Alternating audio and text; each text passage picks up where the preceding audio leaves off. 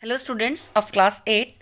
So where were we? Where we were doing lesson 8, the last leaf and we have done till page number 90.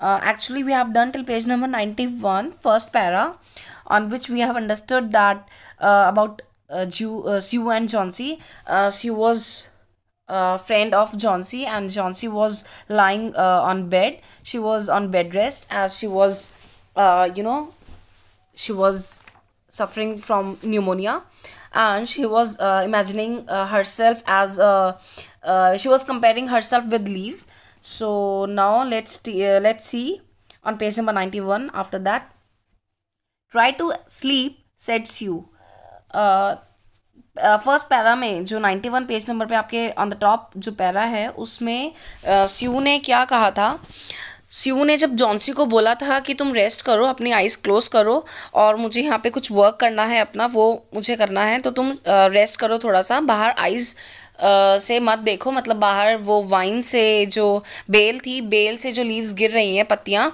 उनको गिरते हुए मत देखो। तो उस टाइम पे जॉन्सी ने उसको रिप्लाई किया था कि तुम जल्दी से अपना वर्क फिनिश करो, मैं अपनी आइज़ तब तक क्लोज़ कर रही हूँ। बट क्योंकि अब मुझे इससे ज़्यादा नहीं होगा, मैं और चीज़ें ये बर्दाश्त नहीं कर सकती हूँ।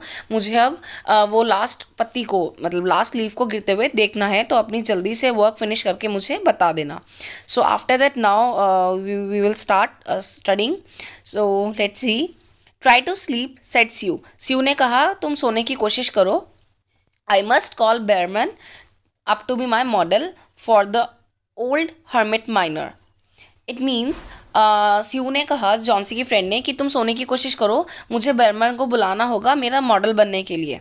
मॉडल मतलब क्या होता है ना, आपको पता है कि बड़े बड़े जो आर्टिस्ट होते हैं या कोई भी होता है आर्टिस्ट तो उनको जब अपनी पेंटिंग्स वगैरह बनानी होती है तो वो किसी को प्रोफेशनल्स को हायर करते हैं ना पेंटिंग्स बनवाने के लिए, कि आप यहाँ खड़े हो जाओ पॉजेस दो अच्छे अच्छे अलग अलग से, ठीक है? तो मेरे मॉडल बन जाओ, मैं आपके, आपको देखकर, आपके उस पोज को देखकर पेंटिंग बनाऊँगी। तो वो बहुत डिफ़िकल्ट वर्क होता है तो उसके लिए प्रोफेशनल्स को हायर किया जाता है राइट तो उस टाइम पे क्या होता था? क्या होता है जनरली जब यंग आर्टिस्ट जो होते हैं ना, जो बिल्कुल यंग अभी शुरू कर रहे हैं अपनी पेंटिंग्स करना तो उनके पास तो इतना पैसा नहीं होता। प्रोफेशनल्स को वो हायर नहीं कर सकते। तो यंग आर्टिस्ट क्या करते थे? बर्मन को बुला लेते थे एज एज दियर मॉडल क्योंकि बर्मन की इतनी इतनी इनकम नहीं होती थी अच्छी तो वो उस टाइम पे यंग आर्टिस्ट के मॉडल बन जाते थे।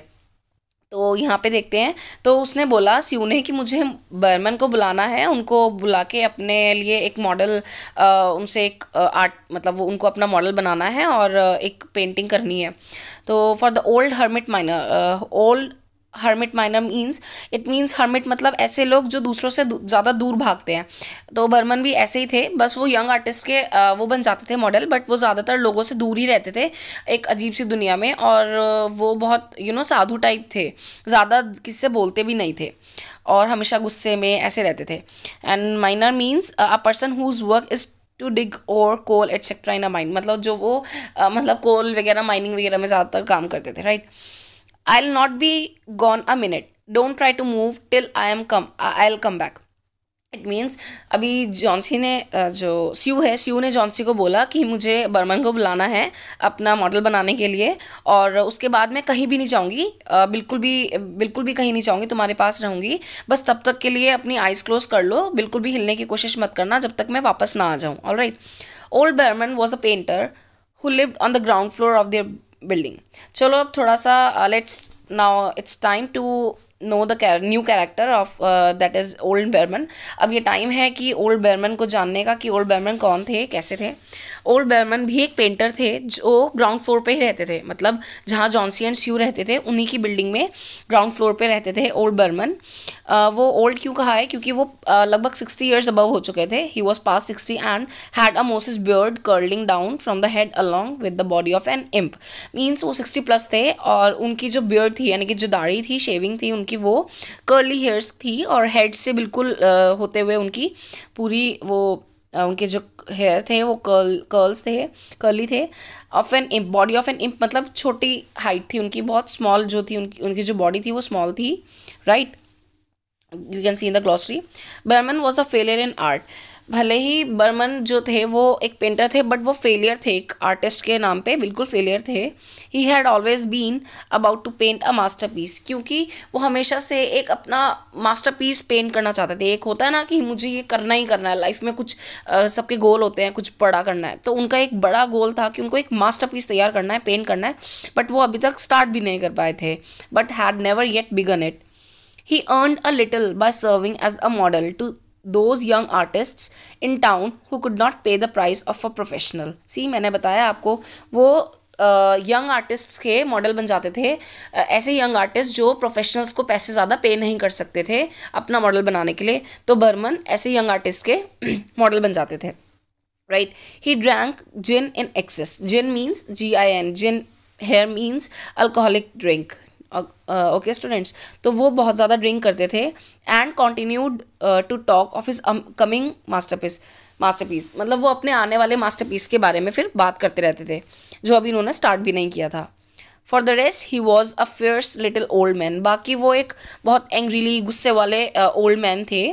Fierce here means angry who scoff terribly at softness in anyone and who regarded himself as a special mastiff in waiting to protect the young, young artists in the studio above.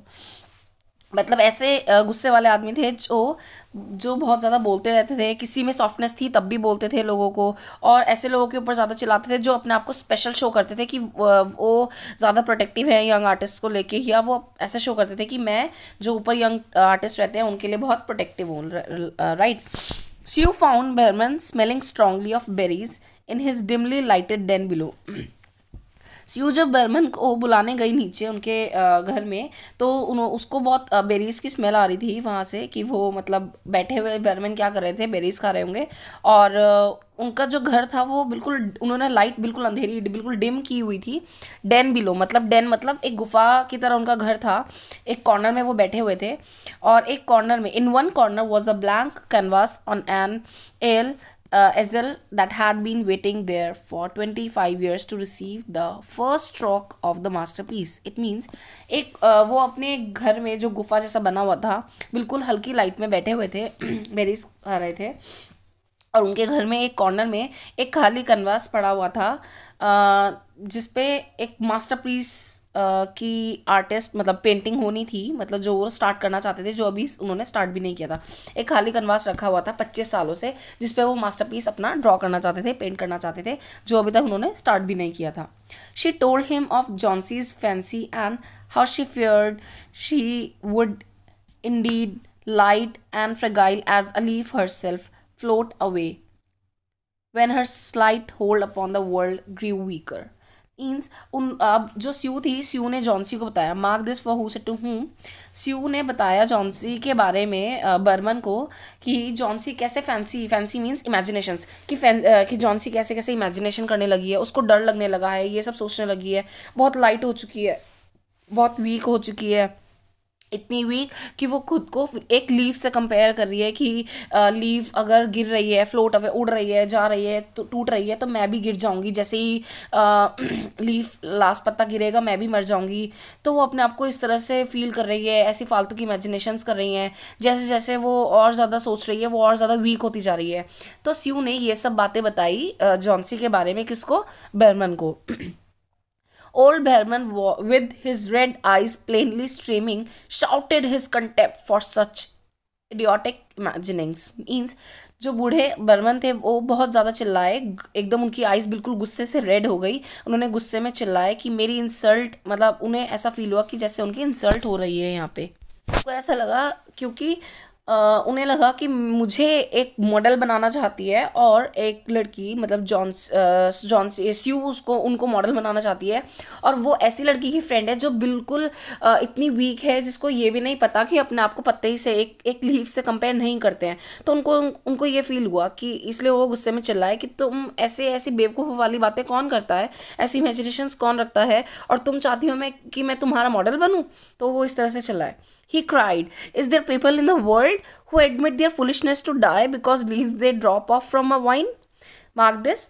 क्या चिल्लाए वो berman क्या बोले गुस्से में कि क्या सच में ये मानने वाली बात है क्या? क्या कोई ऐसा हो सकता है इस दुनिया में जो अपनी मतलब बेवकूफ़ी मतलब अपने इतने बेवकूफ़ी भरे इमेजिनेशंस कर सकता है कि खुद को एक पत्ती से कंपेयर कर रहे हैं कि वो पत्ती गिरेगी तो मेरी भी जान खत्म हो जाएगी राइट तो ऐसा वो बोल रहे थे गुस्से में। I have not heard of such a thing मैंने ऐसी कभी ऐसी कोई बेवकूफ़ वाली बातें नहीं सुनी है। No I will not pose as a model for you for your fool hermit नहीं, मैं तुम्हारे ऐसे इंसान के लिए, तुम्हारे ऐसे दोस्त के लिए मॉडल नहीं बनूँगा, जो इस दुनिया से ही सबसे दूर जाना चाहती है, जिसमें जो इतनी वीक है, जिसमें हिम्मत ही नहीं है कुछ करने की, कुछ अपने आप को ज़िंदा रखने की।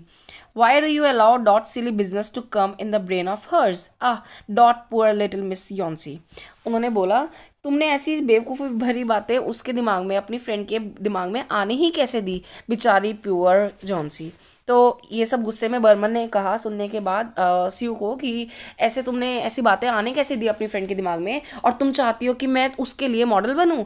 मतलब सीयू बनाना आ, बनाना चाहती थी पेंटिंग अपनी फ्रेंड जॉन्सी के लिए ही तो बनाना चाहती थी ताकि उसको अच्छा लगे। तो इसलिए वो बर्मन को बुला रही थी एज अ मॉडल बनने के लिए बट उनको गुस्सा आया और उन्होंने फ़िलहाल अभी मना कर दिया। All right kids. So for today it's enough.